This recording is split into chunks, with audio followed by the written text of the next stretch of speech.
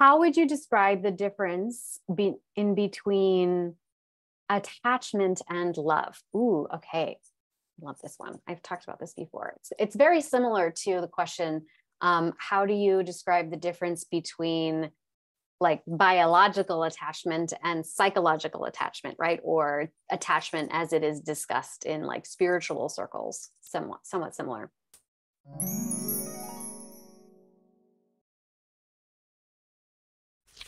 So, what is love? To my mind, love is positive regard. That's all it is. Love is positive regard.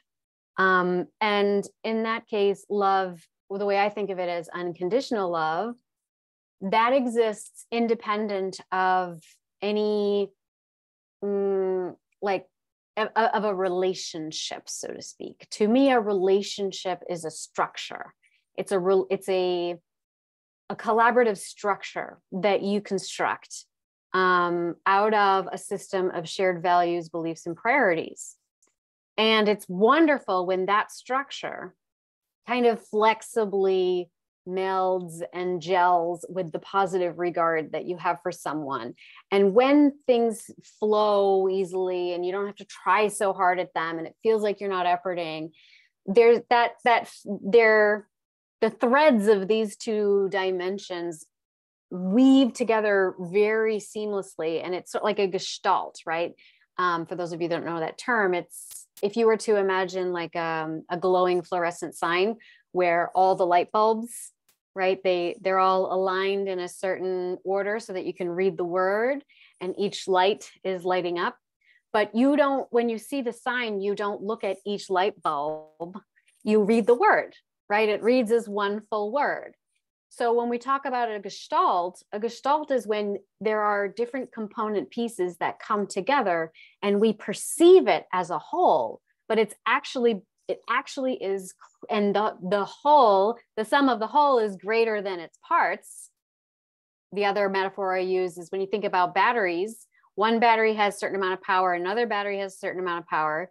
But the thing about batteries when you combine them the power they generate is actually much bigger than if you were just to take one plus one. It's more like one plus one equals 10 as opposed to one plus one equals two right so it's the idea that the whole is greater than the sum of its parts. And so when we think about relationships, I would have you think of them as these gestalt experiences. We we see the relationship as a whole. We often experience the relationship as a whole. That's how the the feeling experience of the relationships com- comes through in that way.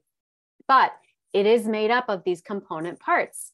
Attachment impulses is a component part positive regard, conditional or unconditional or unconditional, is a component part.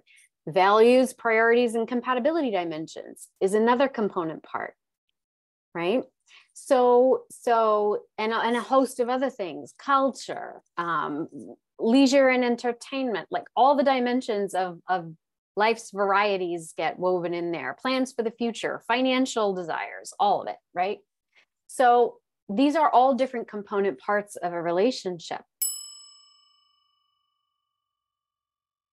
When our survival systems kick on and the attachment component becomes predominant, that is usually when people find their way to me because when we are stuck in a state of, let's say, hypermobilization, our nervous system is kind of on a state of height alert, sort of like a fan whirring in the background most of the time because we're we're constantly thinking about relationship proximity, whether it is wanting to be in close proximity or whether it is constantly moving away from.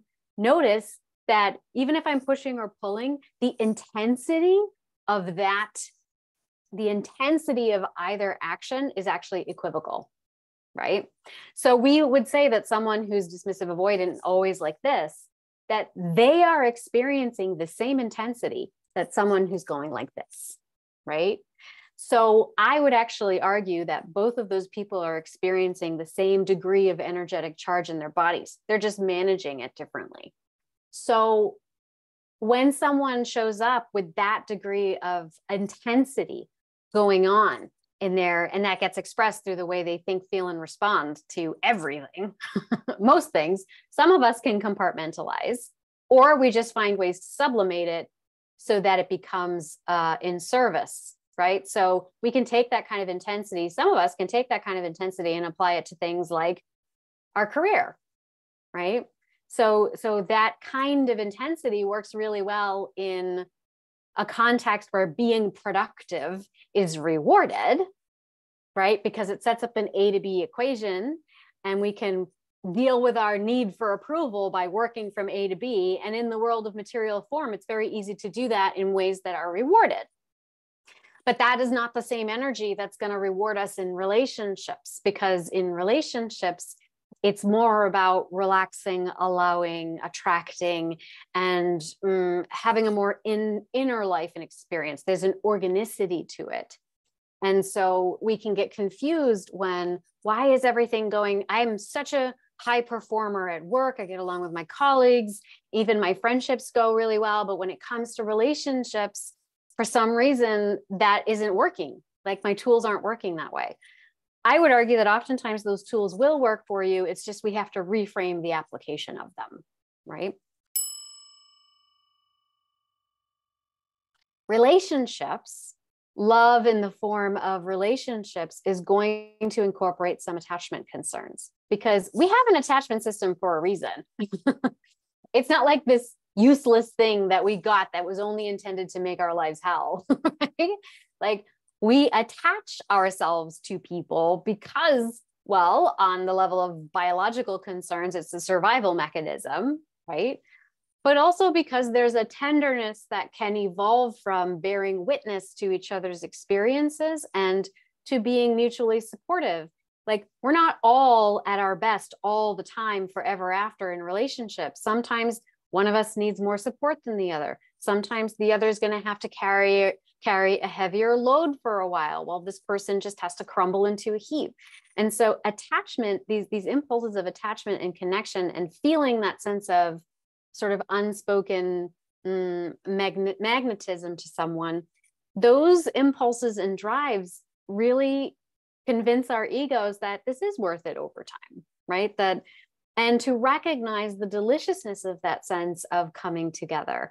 And then eventually being able to understand that that creates kind of like a safe space for us to grow and explore in the context of the relation between you and within you.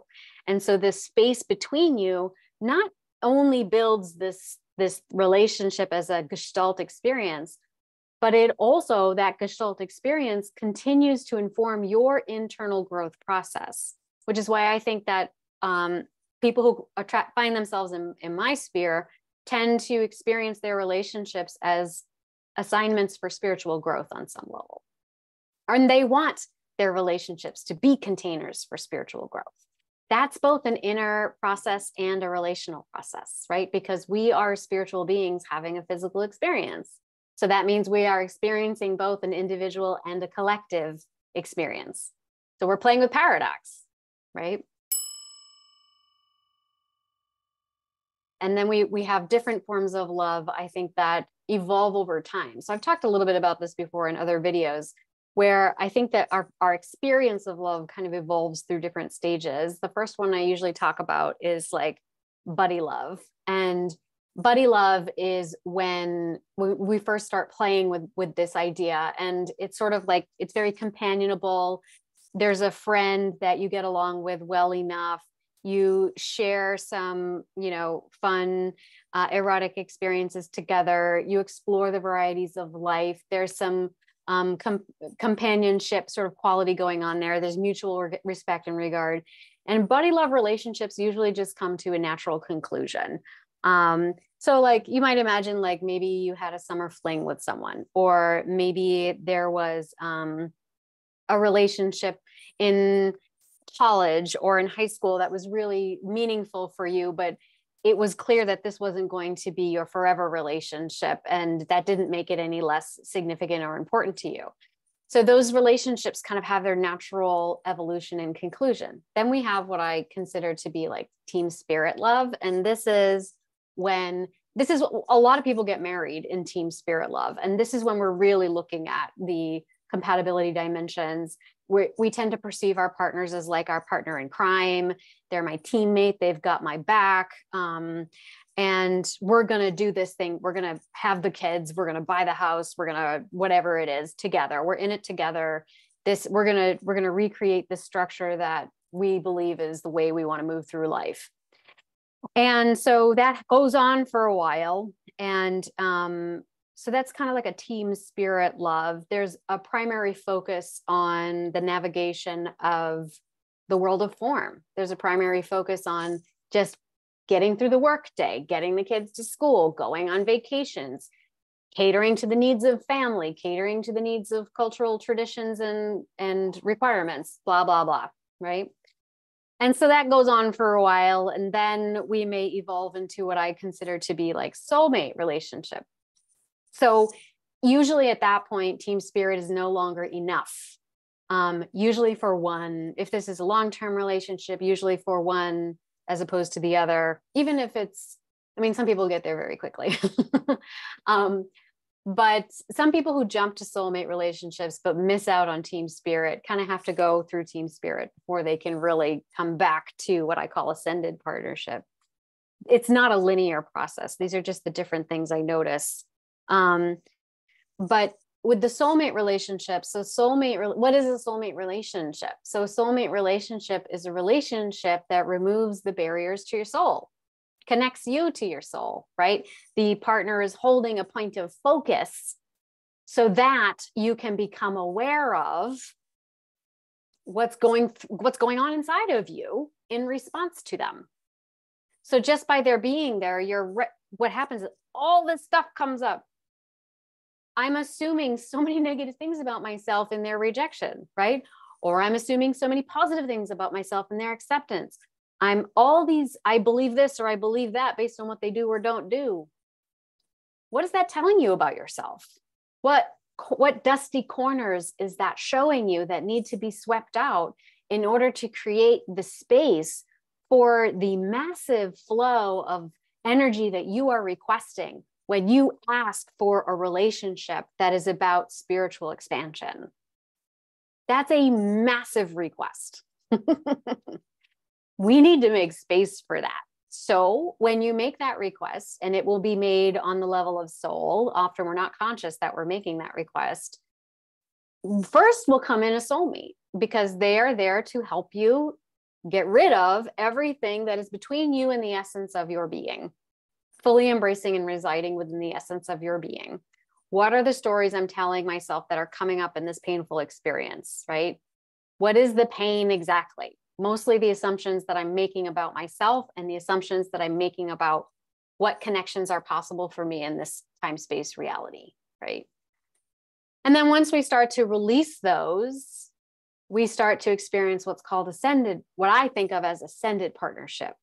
Now, this is when the relationship is less about this volleying of energy that's going back and forth between you, that push pull, anxious, avoidant trap kind of dynamic the energy is not going like this anymore. When you start evolving into uh, an ascended partnership, what happens is instead of trying to share the same oxygen tank, now you've both got your own resources, right? You both can breathe on your own. And so what happens?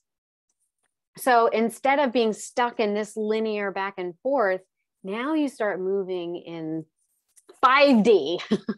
you start moving in all these different dimensions and you can move in parallel to each other and you can merge. You can have that mergy experience without a fear of losing yourself because you know that you have the ability to come back into your sense of autonomy and separateness just as easily.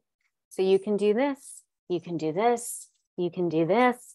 And there's so much more to be explored and expanded upon. And so what happens is once we arrive at this place, now we're working collaboratively. We're not, we don't need our partner to give us this, this, and this in order to feel safe or wanted. The needs kind of they soften, they relax. They it's not like you don't want things anymore. We're still spiritual beings having a physical experience, but the voraciousness of that, the attachment hunger isn't so profound. And we don't have so many attachments uh, psychological attachments to the ways in which those desires must be met. We're a lot more um, open to receiving the quality of the energy that we are seeking in a variety of forms because anything we want or need, we want or need it because we think we're going to feel better once we have that thing. And what is a feeling? It is emotional energy moving through your body. It's energy moving through your body. So when you say you want something, what you are saying is, I want a nuanced quality of an energetic experience in my life. And it's a lot easier, of course, when the material apparatuses in our environments show up to help us conjure that energy. But those are not the only ways to conjure that energy. If I had you close your eyes and imagine what you wanted, or I had you close your eyes and imagine when you felt that way before, you could summon that. And if we moved that way, if we sounded that way, if we painted colors that make us think of that feeling, if we held hands with good friends and we all imagined that we were flowing in that feeling together, what would happen? We'd be witches dancing in a circle, conjuring the feeling you want to feel. And then what would happen? Magical things would start showing up, and universal winks and synchronicities would enter into your life. And then we'd be burned at the stake. right? Because we're making it happen that's how we shortcut this yes you could you can go around trying to move arranging your environments like chess pieces on a game board and you can learn strategic things to say this and that behavioral psychology blah blah blah to try to persuade cajole negotiate the people and places and things in your environments of course you're going to get really tired doing it that way in my perspective that's exhausting um, or we can find these more, um, I think, revitalizing ways to do this. Um, and so, so that is where we start to move into a space of ascended partnership. We're calling in a, a relationship that is about collaboration. It's about an expansion of consciousness, not just for this thing going on between you, but also for the collective because you also perceive yourselves as existing as part of a whole that's bigger than yourself, a gestalt that's larger than the gestalt of your relationship, right? And so there's a generative quality to the relationship. So so the point of this is to express that I believe that relationships are like a gestalt experience. It's it we experience it like one big thing, but it's really made up of component parts. Attachment impulses is a component part. Um, un- positive regard, unconditional regard is another composite composite part. Values, priorities, compatibility dimensions, other component parts. We experience them like a like a flow, right? But breaking down these component parts, I believe, evolves over time. The things we need and want, like the values and compatibility dimensions, also evolve over time. And so, as we start to experience that evolution, we may find that the ways in which we are understanding and wanting to inhabit romantic relationships can evolve in these ways. And so, those are the four ways that I've seen it through buddy love, team spirit, soulmate relationships, and ascended partnerships. And as I said before, it's not a linear progression. We can jump around there. There can be kind of a cyclical way of going through these experiences, but those are some of the things that I've noticed in my experience. I hope that helps. Also, remember to subscribe and ring the bell for notifications. I put out videos once a week and I wouldn't want you to miss out.